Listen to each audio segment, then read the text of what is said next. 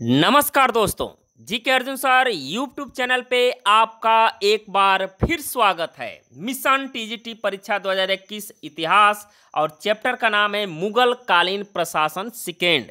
यानी इससे पहले एक वीडियो इसका बन चुका है और ये प्रैक्टिस सेट अठहत्तर है। तो चलिए वीडियो प्रारंभ करते हैं। वीडियो प्रारंभ करने से पहले आपसे एक छोटी सी रिक्वेस्ट है।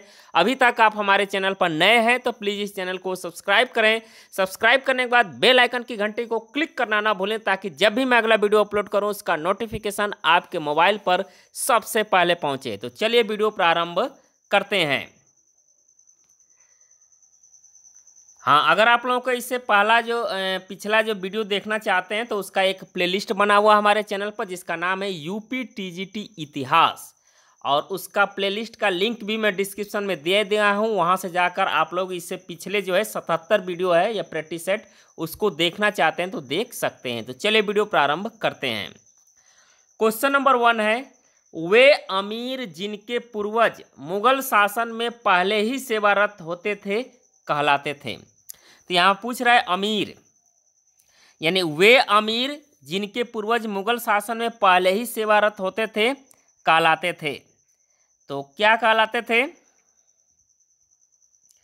देखिए, दिया है शेख जादा मिर्ज़ा खान खाना और इनमें से कोई नहीं। तो इसका आंसर हो जाएगा डी, इनमें से कोई नहीं। इनमें से कोई नहीं।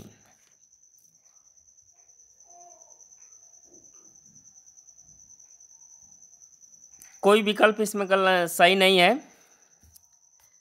क्वेश्चन नंबर दो है, किस मुगल सम्राट ने सर्वप्रथम अपने साम्राज्य को प्रांतों में विभाजित किया था? तो सबसे पहले जो है, किस मुगल सम्राट ने जो है अपने साम्राज्य को प्रांतों में विभाजित किया था? तो वो था अकबर। आंसर हो जाएगा डी इसमें, अकबर। क्वेश्चन नंबर तीन है, अपने शासन काल के किस वर्ष अकबर ने अपने साम्राज्य को सूबों में विभाजित किया था। पिछला क्वेश्चन था कि अपने साम्राज्य को प्रांतों में विभाजित किया था और इसमें पूछ रहा है कि अपने शासन के किस वर्ष अकबर ने अपने साम्राज्य को सूबों में विभाजित किया था? तो किस वर्ष? तो ये था चौबीसवें वर्ष। अपने शासन के चौबीसवें वर्ष में अकबर ने जो है साम्राज्य को सूबों या प्रांतों में विभाजित किया था। क्वेश्चन नंबर चार है, किस भारतीय शासक की प्रशासन प्रणाली में महतरफा और जाकत नामक सीमा शुल्क लगाया गया था? तो इसमें पूछ रहा है, महतरफा और जाकात नामक जो है सीमा शुल्क लगाया गया था। किस, कौन सा शासक था इसमें? दिया है अकबर जहांगीर औरंगज़ेब मराठा। तो इसमें था मराठा शासन। डी आंसर हो जाएगा तो मराठा द्वारा मुख्यतः जो है महतरफा और जाकात नामक सीमा शुल्क लगाया गया था। क्वेश्चन नंबर पाँच है 1605 ईस्वी में मुगल सूबों की कुल संख्या कितनी थी? तो 1605 ईस्वी में मुगल सूबों यानी प्रांतों की कुल संख्या कितनी थी? तो कुल संख्या थी 1605 में, ये अकबर का शासनकाल था। तो 1605 में कितनी थी? पंद्रह सूबों की संख्या थी। कितनी थी? पंद्रह। यानी अकबर के समय में जो है पंद्रह। क्वेश्चन नंबर छः है मनसब क्या था? मनसब क्या था? दिया है कार्यालय, ओहदा, जागीर, जाट। तो मनसब एक प्रकार का ओहदा था। यानी मुगल काल में प्रचलित एक शब्द था, जिसका नाम था मनसब एक प्रकार का ओहदा या एक प्रकार का कह सकते हैं पद। क्वेश्चन नंबर सात है, पाँच सौ से पच्चीस सौ, पाँच सौ से पच्चीस सौ से कम की जात वाले मनसबदारों को क्या कहा जाता था? पाँच सौ से पच्चीस सौ से कम की जात वाले मनसबदारों को क्या कहा जाता था? तो उनको कहा जाता था अमीर। आंसर हो जाएगा बीस में अमीर। पाँच सौ से पच्चीस सौ के बीच वाले जो मनसबदार थे, उनको अमीर कहा जाता था। अमीर। हाँ अगर यहीं पर क्वेश्चन पूछे, पाँच सौ से अगर नीचे पूछेगा कि पाँच सौ से नीचे वाले मनसबदार को क्या कहा जाता था तो 500 से नीचे वाले मनसबदार को जात कहा जाता था। जात। और पच्चीस सौ से अगर ऊपर पूछेगा तो उसको कहा जाता था अमीर आज़म। अमीर आज़म। क्या कहा जाता था? अमीर आज़म। अमीर आज़म कहा जाता था। यहाँ पर जो है, पाँच सौ से पच्चीस सौ के बीच में पूछा है तो उसको अमीर कहा जाता था। पाँच सौ से नीचे रहेगा तो जात उसको कहा जाता था, मनसबदारों को। और पच्चीस सौ से ऊपर रहता है मनसबदारों को तो उनको अमीर आज़म कहा जाता था। क्वेश्चन नंबर आठ है, जरीब क्या था? जरीब क्या था? तो जरीब जो है, एक प्रकार का भूमि मापक यंत्र था। जरीब एक प्रकार का भूमि मापक यंत्र था और यह एक प्रकार का कह सकते हैं फीता या चैन।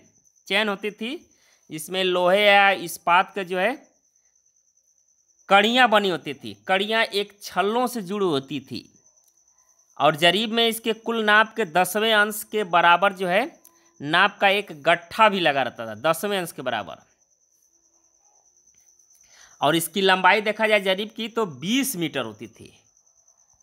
बीस मीटर लंबी होती थी जरीब, जो नापा जाता था। क्वेश्चन नंबर नौ है, निम्नलिखित में से किसको मदद ए मास अनुदान प्रदान किए जाते थे? किसको जो है मदद ए मास अनुदान प्रदान किए जाते थे? तो मदद ए मास अनुदान प्रदान किए जाते थे। तो ये था संतों और विद्वानों को। आंसर हो जाएगा सी इसमें, संतों और विद्वानों को। क्वेश्चन नंबर दस है, जब्ती व्यवस्था के अंतर्गत सर्वाधिक उपजाऊ भूमि किस रूप में वर्गीकृत की गई थी? जब्ती व्यवस्था के अंतर्गत सर्वाधिक उपजाऊ भूमि किस रूप में वर्गीकृत की गई थी? तो ये थी पोजल के रूप में। आंसर हो जाएगा इसमें ए, पोजल। पोजल भूमि का मतलब होता है जो है, प्रत्येक वर्ष जो है इस पर खेती होती थी, यानी एक प्रकार से उर्वरक भूमि होती थी। क्वेश्चन नंबर ग्यारह है, विश्व प्रसिद्ध कोहिनूर हीरे को किस खादान से प्राप्त किया गया था? विश्व प्रसिद्ध कोहिनूर हीरे को किस खादान से प्राप्त किया गया था? तो खदान का नाम पूछ रहा है तो ये प्राप्त किया गया था किस खदान से? देखिए ऑप्शन दिया है इसमें, बीजापुर, गोलकुंडा, छोटा नागपुर, ओडिशा। तो ये था गोलकुंडा से। आंसर हो जाएगा इसमें, बी गोलकुंडा। गोलकुंडा कहाँ पड़ता है? आंध्र प्रदेश में। क्वेश्चन नंबर बारह है, भूमि पैमाइश के संदर्भ में भाओली का क्या अर्थ है? शब्द दिया एक, भाओली। तो भाओली का क्या अर्थ है?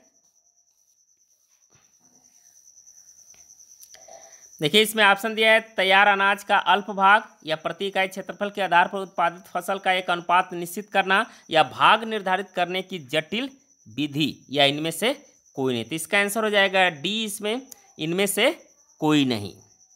भावोली शब्द इसमें पूछ रहा है। भावोली क्या थी? तो ये जो है,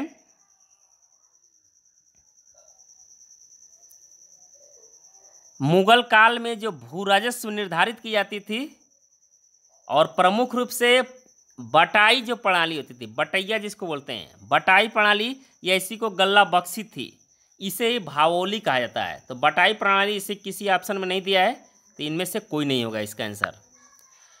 क्वेश्चन नंबर तेरह है, मध्यकाल में चाचर भूमि से आशय है। तो मध्यकाल में चाचर भूमि से क्या आशय है? तो इसका आशय है, इसमें पाँच वर्ष तक कुछ भी न बोआ, बोया गया हो। यानी पाँच वर्ष तक कुछ भी न बोया गया, उसी को चाचर भूमि कहा जाता है। यानी कि इसमें आंसर हो जाएगा सी क्वेश्चन नंबर चौदह है, निम्नलिखित में से किस मुगल सेना में चिकित्सक नियुक्त किया गया था? किसे मुगल सेना में चिकित्सक नियुक्त किया गया था? तो इसमें बर्नियर, करेरी, मंची ट्रविनियर तो इसका करेक्ट आंसर हो जाएगा मनुची। तो इसका पूरा नाम था निकोलो मंची। तो निकोलो मंची को जो है, मुगल मुगल सेना में चिकित्सक नियुक्त किया गया था। इटली का ये यात्री था। और भारत आकर इन्होंने जो है दारा सिको की सेना में सबसे पहले तोपची के रूप में नौकरी भी किया था। और जब दारा सिको की मृत्यु हुई, उसके बाद जो है, इसने जो है चिकित्सक का पेशा अपना लिया था। या चिकित्सक जो है, मुगल सेना में इसको जो है, नियुक्त किया गया था। मनुची था इटली का यात्री था। क्वेश्चन नंबर पंद्रह है, मुगल प्रशासन के दौरान ज़िले को किस नाम से जाना जाता था? तो मुगल प्रशासन के दौरान जो है, ज़िले को किस नाम से जाना जाता था? तो ज़िले को नाम से जाना जाता था सरकार। ज़िले को सरकार के नाम से जाना जाता था। अब देखिए, मुगल प्रशासन अगर देखा जाए तो सुविधा के लिए प्रत्येक सूबा, जो सूबा था जिसको प्रांत कहते हैं इस समय, सूबा किसमें बटा था? जिलों में जिलों में, और ज़िले को जो है यहाँ लिख सकते हैं सरकार में बटा था। ज़िले को क्या कहता था? सरकार। सरकार किसमें बटा था? महल में। महल। महल जिसको वर्तमान में परगना या तहसील कह सकते हैं, और तहसील के बाद जो है गाँव थी, इकाई। ये था इसके केंद्रीय प्रशा मुगल प्रशासन की व्यवस्थाएँ। क्वेश्चन नंबर सोलह है मुगल शासन में मीर बख्शी का कर्तव्य था। तो मीर बख्शी का क्या कर्तव्य था? भू राजस्व अधिकारियों का पर्यवेक्षण। भू राजस्व अधिकारियों का पर्यवेक्षण मीर बख्शी का कर्तव्य था। ये कर्तव्य पूछा है इसमें, क्वेश्चन ध्यान दीजिएगा। कर्तव्य पूछा है, वैसे ये जो है, वेतन अधिकारी था, यानी वेतन देता था और नियमित और अस्थाई नहीं होता था इसका। सैन्य वेतन के लिए भी उत्तरदायी था ये। क्वेश्चन नंबर सत्रह है, मुगल प्रशासन में मुह तसीब था। मुगल प्रशासन में मुह तसीब था। तो मुह तसीब क्या था? तो एक प्रकार के लोक आचरण अधिकारी थे। मुह तसीब, लोक आचरण अधिकारी। क्वेश्चन नंबर अठारह है, निम्नलिखित बातों में से कौन एक मुगल मनसबदारी व्यवस्था के विषय में सत्य नहीं है? कौन एक मुगल मनसबदारी व्यवस्था के विषय में सत्य नहीं है? तो इसका आंसर हो जाएगा सी उनका सवार पद जात पद से अधिक हो सकता है, ये सही नहीं है। क्वेश्चन नंबर उन्नीस है, मुगल सम्राट जिसने तंबाकू के प्रयोग पर निषेध लगाया था। तो तंबाकू के प्रयोग पर क्वेश्चन नंबर बीस है सारी उन्नीस मिस प्रिंटिंग हुआ है, छूट गया इसमें। तो मुगल सम्राट जिसने तंबाकू के प्रयोग पर निषेध लगाया था तो वो था जहांगीर। क्वेश्चन नंबर इक्कीस है, मध्यकालीन भारत के ऐतिहासिक स्रोतों में चकला शब्द का प्रयोग हुआ है यह तो चकला क्या है, ये पूछा जा रहा है इसमें। तो चकला जो है, सूबा और परगना के बीच क्षेत्रीय इकाई था, लेकिन सरकार के समनार्थी नहीं था। सी आंसर होगा इसमें। क्वेश्चन नंबर बाईस है, मुगल प्रशासन में मदद मास इंगित करता है। तो मदद मास इंगित करता है तो इसमें आंसर हो जाएगा बी, विद्वानों को दी जाने वाली राजस्व मुक्त अनुदत्त भूमि। मदद मास। विद्वानों को दी जाने वाली राजस्व मुक्त अनुदत्त भूमि। हाँ यह भूमि जो है, स्थानांतरित नहीं होती थी और अनुदान ग्राही के पास वंशानुगत रूप से रहती थी। क्वेश्चन नंबर तेईस है, मध्यकाल में बटाई शब्द का अर्थ था।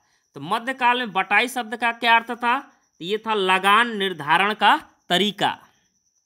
क्वेश्चन नंबर चौबीस है, मुगल शासन में तांबे का सिक्का कहलाता था। तो मुगल शासन में तांबे का सिक्का क्या कहलाता था? दाम कहलाता था। आंसर हो जाएगा बीस में दाम। तांबे का सिक्का दाम कहलाता था।